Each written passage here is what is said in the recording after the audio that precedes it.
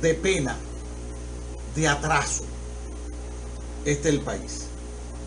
Por eso es que yo insisto en que hay que luchar por un mejor cristiano, un mejor político, un mejor ciudadano, un mejor hombre de fe. Porque esa manifestación que se produjo el domingo con el peregrino en medio de esta pandemia es una demostración del bajo nivel educativo, de la poca conceptualización que tienen como cristiano, como gente de fe, todo aquel que esperó a ese fanático, a ese casi, casi se le puede llamar, a ese loco. Y le llamo en forma despectiva, porque no deja de ser un charlatán. ¿Por qué digo esto? Porque este señor también Dios le había manifestado que hiciera una caminata de 250 kilómetros para pedir la reelección de Danilo, ese mismo charlatán, el que ahora Dios le reveló que hiciera su caminar para llevar al mar el coronavirus, para que hoy lunes amaneciera esto, sin nadie contaminado. Entonces, un sujeto con esa historia de que ya usó habilidades políticas para hacer una caminata para que Danilo se religiera. Lo malo no es que él hiciera la caminata. Eh, políticamente él tiene derecho a, a haber manifestado aquella vez. Pero al prestarse ahora, utilizando el pánico social, utilizando un pánico terrible que tiene la gente sobre esta pandemia. Y cuando el ser humano se ve bajo el estado de pandemia, es manipulable, más si no hay mucha formación. Si no hay mucha formación, el ser humano es muy, muy manipulable.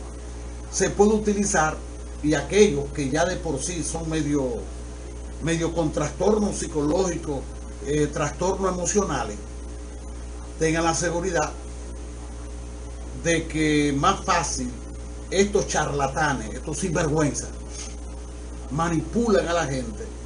Entonces, es lo que yo le vengo pidiendo, que la iglesia católica debe cada día decirse, tengo que hacer mejor cristiano, tengo que fabricar un mejor cristiano, de mayor resistencia, por eso es mi lucha de hablar de un cristianismo científico, porque creerle a ese loco que Dios le había revelado, un hombre que ya tiene historia de prestarse a otras cosas, y en medio de esta pandemia, hacer una manifestación de esa naturaleza, tenemos que estar locos.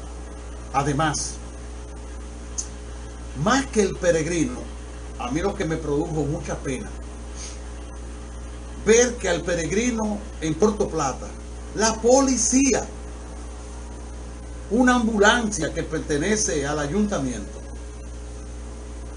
haciéndole una corte, la policía, la ambulancia del ayuntamiento, ya dando muestra a los síndicos que vienen del PRM, dando muestra de los locos que se cuelan para ser síndicos ya le facilitó, le facilitó hasta una de esas eh, cositas de, hacer, de anunciar. La utilizaron para poner una serie de música y de cosas. O sea que esa policía que iba ahí adelante, en vez de ser la patrulla, que en estos días suspendieron al jefe de esa patrulla porque quitó a la fuerza de igual forma la fuerza que él hizo, el señor que estaba fuera del horario de poder salir eh, a la calle, suspendieron a ese militar. Entonces lo de Puerto Plata, eso sí deben ser suspendidos. Estos deben ser suspendidos. O sea que eh, da pena el tipo de, de autoridades que tenemos. El tipo de autoridades que se prestaron en un momento dado a seguir la marcha, a proteger a este charlatán, a este señor, a este falso, falso hombre de hablando de Dios y que Dios le había revelado. Yo lo único que digo, eso es lo que sirve para darnos cuenta. Qué lejos estamos de un buen cristiano, qué lejos estamos de un buen político, qué lejos estamos de unas autoridades que protegieron a ese loco.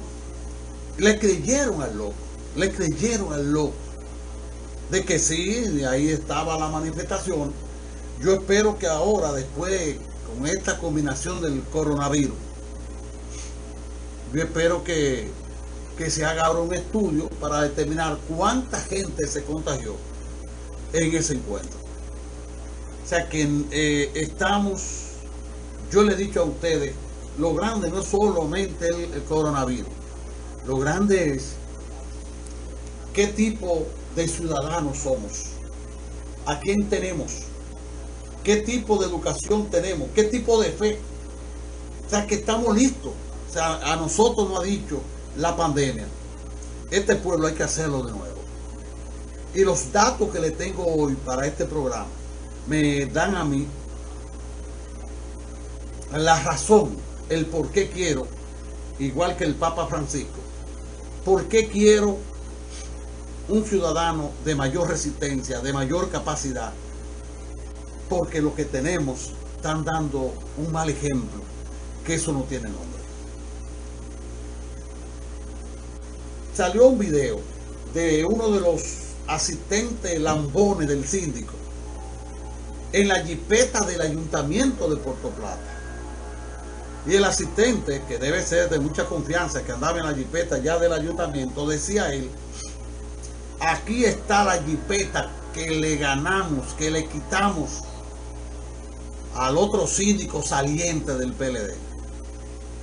Sea, ese que va en la jipeta, que se ve que es de confianza porque va en la jipeta, la jipeta que le toca ahora al nuevo síndico, da un reflejo qué tipo de sujeto, qué, qué tipo de sujeto tiene el nuevo síndico.